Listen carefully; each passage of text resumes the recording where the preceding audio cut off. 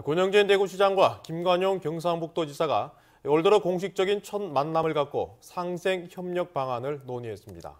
예, 대구공항 통합 이전이 가장 큰 논의 과제였고 공항을 중심으로 경제 공동체 방안도 검토하기로 했습니다. 윤영균 기자가 취재했습니다. 설 연휴 전날 자리를 같이 한 권영진 대구시장과 김관용 경상북도지사. 대구와 경북의 상생 발전을 위해서는 통합 대구공항을 성사시키는 것이 무엇보다 중요하다고 강조했습니다.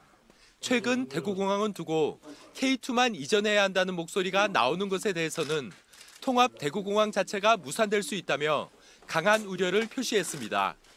다시 우리가 주저앉아 갈 경우에는 이 현 상황을 그대로 아무런 변화도 없는 6시간 거리 동남아 일부에 갈 수 있는 저가항 비행기를 움직이는 공항을 이 껴안고 대구 경북의 미래를 우리가 버리는 겁니다.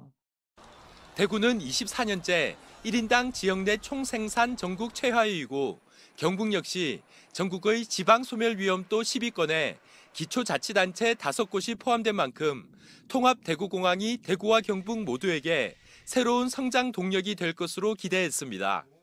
새거 달았을 때 두드려야지. 다시 이거 보면 앞만 두드려 팔만 아프게 아무 소용이 없습니다. 그래서 이건 적극적으로 전향적으로 이 문제를 보시고 대구와 경상북도는 통합 대구공항을 중심으로 한 경제 공동체를 만드는 방안에 대해서도 검토하기로 했습니다. 한편 권영진 시장은 정치적 상황에 휘말리지 않겠다며 새누리당을 탈당하지 않겠다는 의사를 다시 한번 확인했고 대선 출마설이 나오는 김관영 지사는 새누리당의 혁신이 마무리된 이후에 입장을 정하겠다고 밝혔습니다. MBC 뉴스 윤영균입니다.